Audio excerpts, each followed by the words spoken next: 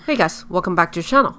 Today, we're starting another revised series of videos called Airport Future, in which we look at different major airports in Canada, as well as the rest of the world, to see what they've got in store for the future in terms of improvements and expansions, and also the existing and new transit connections the airport has with its host city. Kicking off this new series, we'll be looking at the Montreal Pierre Elliott Trudeau International Airport, also known as YUL, the third busiest airport in Canada by passenger traffic and a major hub for Air Canada.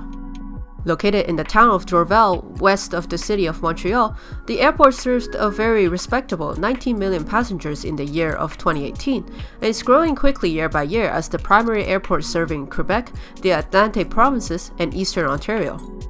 In this video, We'll first give you guys a rundown of the main terminal building of the airport, the three runways, and the network of taxiways serving them, as well as transit and driving availability of the airport. And then we'll move on to the new expansions that the airport is getting, as well as any major changes coming to the airport and its nearby lands. Enjoy the video!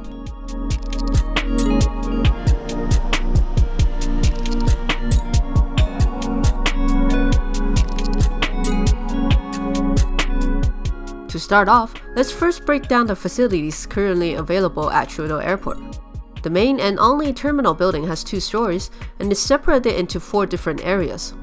The middle body part of the terminal is the public area shared by each of the three arms, dedicated for checking in, shops and cafes, and various other services.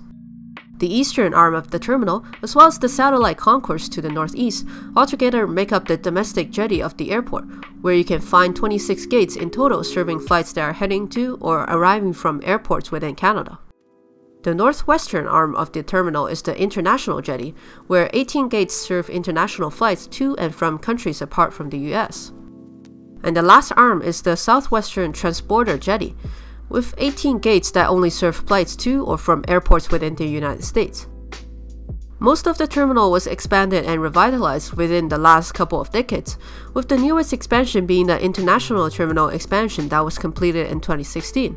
The $620 million expansion added a quite a sizable area that contains seven new boarding gates and various restaurants, shops, and open spaces. Let's now move on to the runways and taxiways of the airport. The airport has two parallel north-south runways and one east-west runway in between them. And we've got an extensive network of taxiways for planes to travel between them and the terminals.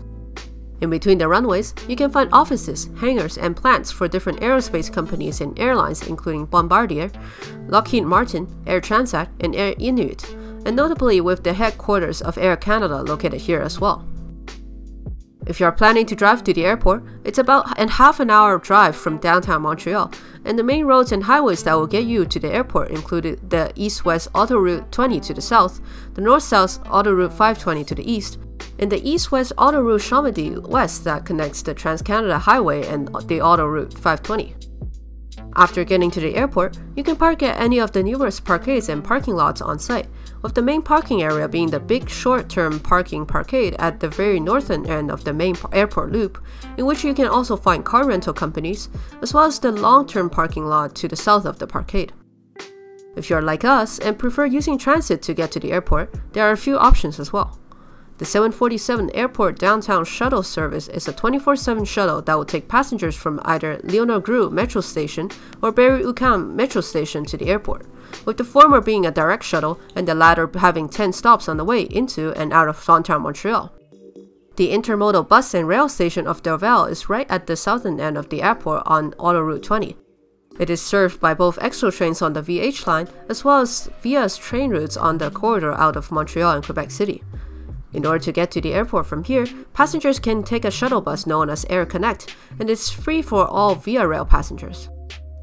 The closest metro stations to the airport are Namur, de la Savane, and Du Collège on the Orange Line, and you can get to the airport either via the 747 shuttle bus from Leonard Groulx that we mentioned earlier, or by taking a couple of buses from Du Collège station with similar travel times.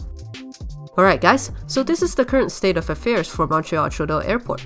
We've got our main terminal where you'll be able to access everything, three runways, as well as numerous options to get to the airport. Much of the airport has been renovated to bring up to date and to the standards of the current time, but there's still a lot to be done to increase capacity for the growing passenger volume. Modernize parking and driving access, as well as connect the airport better to the public transit options in the area, which is definitely a weaker point of the airport right now, with only commuter slash long distance rail access or shuttle bus access right now. First up, we'll talk about the new expansion project that was unveiled last year in 2018 that will cover expansions up until 2030. This expansion project was announced by Aéroports de Montréal, the non-profit organization that runs the region's airports, and it will mean multiple expansions, renovations, and additions to the airport for the terminal, parking, and transit, with $2.5 billion planned to be used for the five-year first phase of the expansion. As part of this first phase, a new remote passenger jetty will be built on the grounds of the current east-west runway, adding 10 to 15 gates to the airport and resolving the shortage of terminal gates currently being experienced by the airport. This remote jetty would then be connected to the main terminal as part of the second phase of construction, creating a massive structure that will definitely improve the experience of flying in and out of the airport and give the airport a lot more room to grow into. The other big part of this project is the revitalization of the parking facilities here at the airport. This will see the main parkade of the airport demolished and the whole area inside of the main loop converted into a multi-level parking structure and drop-off zone, complete with green roof and glass roof. This will be a much needed improvement to the old parking lot and parkade, as well as adding many more parking spaces for the growing passenger demand. And located 35 meters below this parking lot is the final piece of the puzzle. Along with the parking lot, a new station of the REM will be built here to finally connect the airport to the city with a reliable and frequent rail link. The REM is a future rapid transit system under construction in the Greater Montreal area around Montreal, which will link several suburbs with downtown Montreal via Central Station. Most of the system will be a conversion of the previous Deux Montagnes commuter rail line. It will have three different branches, with one of them terminating at the airport in the future. When the system is completed, it will become the fourth largest automated transit system in the world, and it will greatly improve transit connectivity to Montreal's suburbs and serve as a transit connector alongside the Montreal Metro. This branch of the REM, along with the Montreal Trudeau Airport Station, are planned to be completed by 2022, and we're looking forward to riding it by then. Besides this main expansion project, a master plan from 2013 also shows some more future improvements that are in the works right now, including the development of a new air cargo handling area and taxiways that will support it, a reconfiguration of the international arrivals hall and of the domestic and international departures luggage area, as well as an extension of the transborder jetty. No new runway is planned despite the future retiring of the east-west runway, but that will probably come in the future along with growing demands.